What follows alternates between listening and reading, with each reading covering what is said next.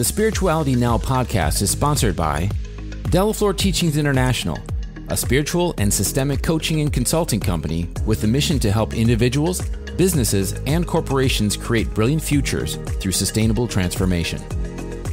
Also sponsored by the Network for Human Empowerment, a philanthropic TV network that serves Spanish speaking communities with free, conscious education aimed to empower individuals to become the best versions of themselves.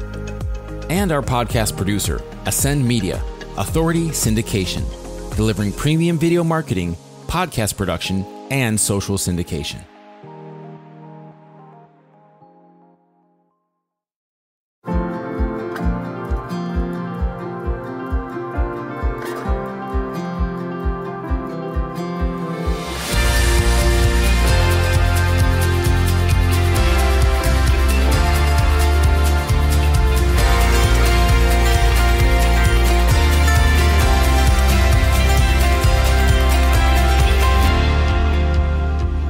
Welcome to the Spirituality Now podcast, a podcast committed to supporting you in your journey to life mastery and personal enlightenment.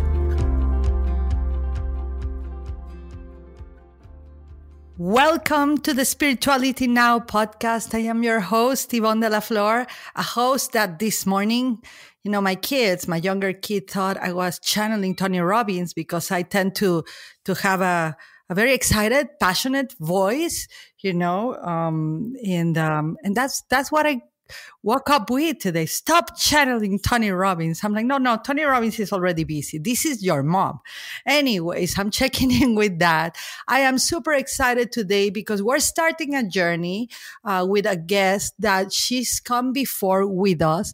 I consider her before, more than reading her bio or anything, I consider her expert in maturity. And, and I know nowadays everybody calls themselves an expert, which has a right to exist, a specialist in something. But this woman truly genuinely really is kind of a specialist in this, a specialist, an expert in maturity.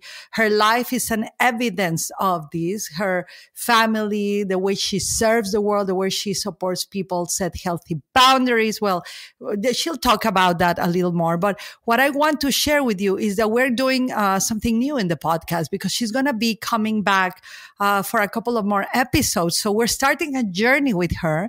You've heard her before. Actually, I have a list. You're going to hear paper because I have uh, a bunch of questions that I received from people in Latin America after hearing her um, that are really juicy. Actually, I chose the most raw that usually podcasters wouldn't choose. I gotta go there because Shanti has the maturity and, and is Shanti Zimmerman, by the way, proper introduction. Uh, she's uh, coming back to the podcast to share with us uh, all the wisdom that uh, is necessary, I believe, in the world right now and uh, necessary for each of us as individuals to to really navigate what is to be human, what real life is about, what reality is uh, on life. So I'll just share with you um, a quote of something that Shanti says. By the way, we will link, uh, I make sure I'll tell my team, we will link um, her previous podcast so you understand where we're coming from and where we're going towards with this so you can learn more about Shanti. But we'll put um, her Facebook, any any any link that you may need, and and also the previous podcast link. We will add it in in the in the in the content, in the copy content, I think that's how you call it. But Shanti shares, I care deeply about the maturing of humanity and a world that works for everyone.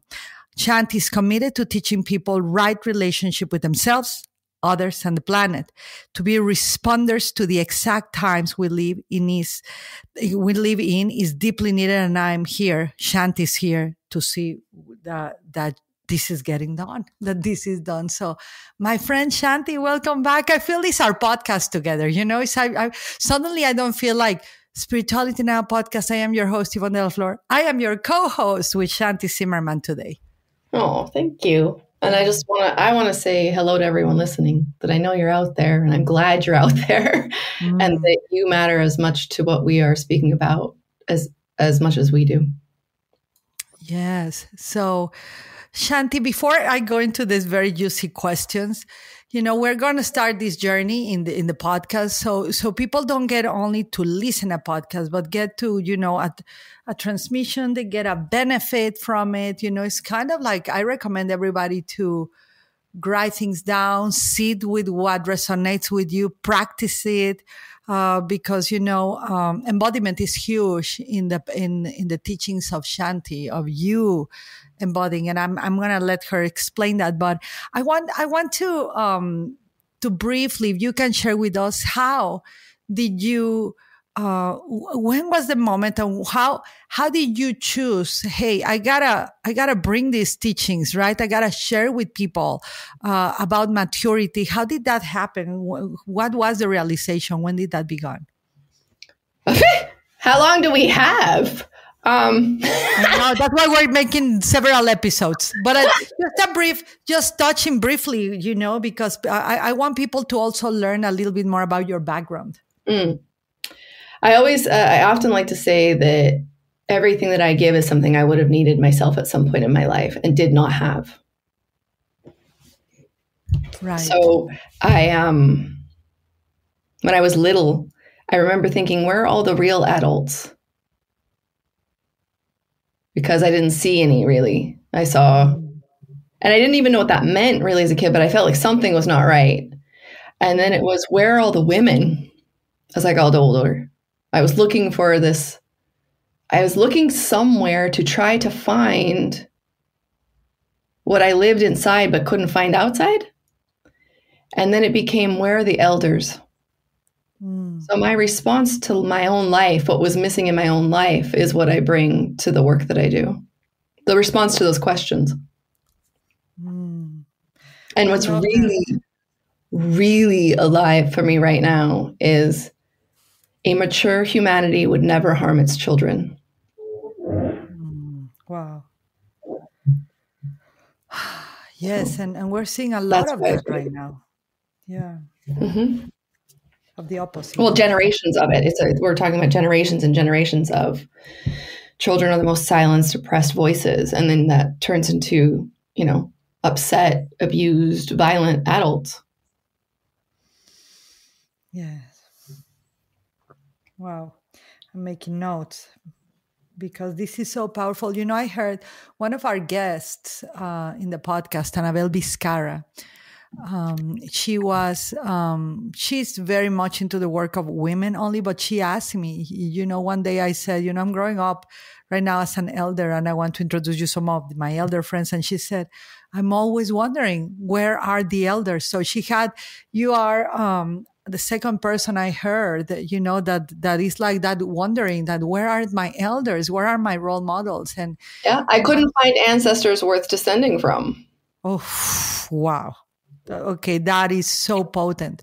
Yeah. Uh, okay, uh, share a little bit more about this because you know I think even that humanity needs re-education about like the ancestors and and uh, please just share a little bit more about that if, if I have anything for the reason of my life is to be an ancestor worth descending from and not like to give me any props or like oh i left a legacy um, but to actually make the world better for the ones that come after me to actually give them a sense of life is worth living and it's worth living because you're cared for and it's worth living because p- other people care and it's worth living because somebody loved me through it. Long before I ever existed, somebody thought about my existence mm. and lived as if I mattered.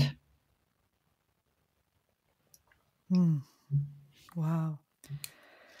Live as if you mattered. And, you know, I want to like yellow highlight this in this moment, you know, like highlight this because, you know, recent last week, I I know a couple that knows a couple, right? Mm-hmm. and this couple, they just lost their son to suicide, 12 years old, precious, mm-hmm. angel, beautiful family.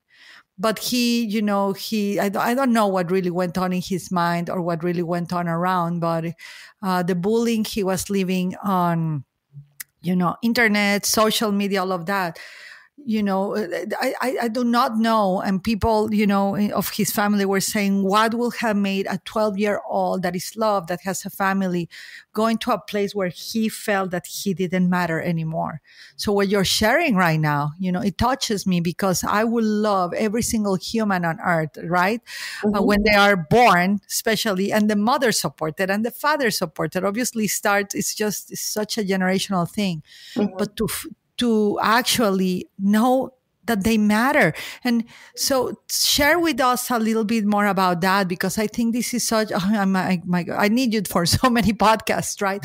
But this, people have forgotten and in the forgetfulness, you know, sometimes we, um, we carry this identity that is false, that, um, that we have to be feeding something we are not and we begin to feel more empty. I'm not sure if you get me, you know, but yeah. it's, is that there's an emptiness because we don't know this very crucial fact that we matter in the world. Right. And when we're 12, uh, we're in the first bloom. And by what I mean by bloom, I mean hormonal bloom right? Cognition is coming online in a very different way in a child at that age, and their feelings are really, really, really, really, really big. And if no one is guiding them through those big feelings, they begin to internalize what those feelings mean. And often it's a gloom and doom kind of way, right? The world doesn't love me. There's no future. Um, my and if, if his feelings at all and anywhere were being downplayed. I'm not saying anything about his family. I send all of my love and care to the grief that they will now have to walk through. And we don't, it's cultural as well as familial. But I mean, the outlying system of this despair is cultural and societal. It's not, and then there's family, which is the greatest influence. But sometimes, even if I always tell people, you're living in a home with your family members, and there's one member there too, and it's called your culture and society. And if you're not in active relationship to that culture and that society, and let's say right now technology and social media and the internet is a part of that society and culture. If you're not in active relationship with it, understanding its effects, understanding how how what it's meant to do in a manipulative manner and not supporting your children through that, then they're at the whim of the internet and what's on the internet. And nothing on the internet says you matter. Nothing. There's nothing on social media, TikTok, things like that, that are telling kids you matter. And you matter not because you did something or you achieved something or you acted a certain way, but you matter because you matter. Period. And it's not coming from a cohesive family, cultural, societal place. Yes. And even then, the truth is sometimes it won't be enough. That's so true. That is so true. Ah. Yes, you know, it, it it it it brings me it brings me to deep thought into not only social media but to every single area um, that creates life, right? The, from peers, um, family um, that are is supposedly far away, close by, uh, friendships, all, all that makes our culture. You know, I love a phrase that says, uh, culture is strategy for breakfast. And I don't think we both, uh, we have right now, personally, I don't think that there is a strong focus neither on culture and neither on strategy on how to support our youth or support our future generations to navigate these very uh, incongruent, non-cohesive, as you said, times that we're experiencing. It's, you know, it blows my mind that little kids from six, seven, eight, 12 years old are suiciding. It's, it's it just shows me there's something off, you know, and, and there uh, is, And one of them is that they, um, from the very beginning of their lives, the whole purpose of parenting is to prepare them for a life without us. We will die, but prepare them to live a good life without us.